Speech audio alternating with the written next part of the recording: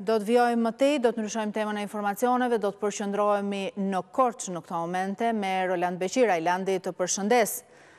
Moti i acartë vijon edhe ditën e sotme, si paraqitet situata deri në këtë mesditë në Korçë, Landi? Temperaturat e ulëta kanë vijuar të jenë prezente në gjithë rajonin e jug. Nuk e dëgjoj Landin? Temperaturat e ulëta kanë vijuar në rajonin e juglindjes prej ditës së djeshme dhe në vazhdim. Në shumë akse rrugore nacionale ka pasur prani akulli në orët e para të mëngjesit, por më pas kalimi i mjeteve është lehtësisht i kalueshëm. Po kështu edhe në zonat rurale, asnjë zonë nuk është e bllokuar, ka pasur dhe ka kontakte midis fshatrave të thellë malorë dhe njësive të tyre administrative.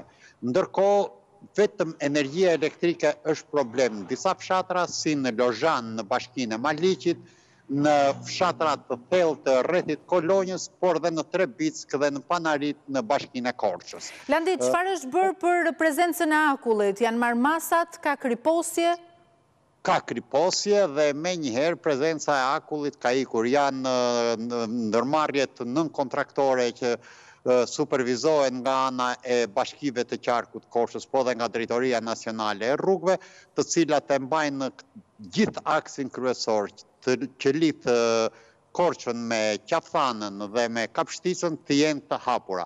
Nuk ka pasur as edhe një problem, ndërkohë që monitorohet edhe nga patrullat e Policisë Qarkullimit Rrugor për lëvizjen e automjeteve. Prezenca e akullit ka qenë vetëm në orët tre katër të mëngjesit, Të sotëm, gjë që është normale në temperatura të tilla të acarta ku termometri ka shënuar dhe në minus dymbëdhjetë gradë Celsius. E qartë. Landi, sa i përket ujit të pijshëm, ka ngrirje të tubacioneve?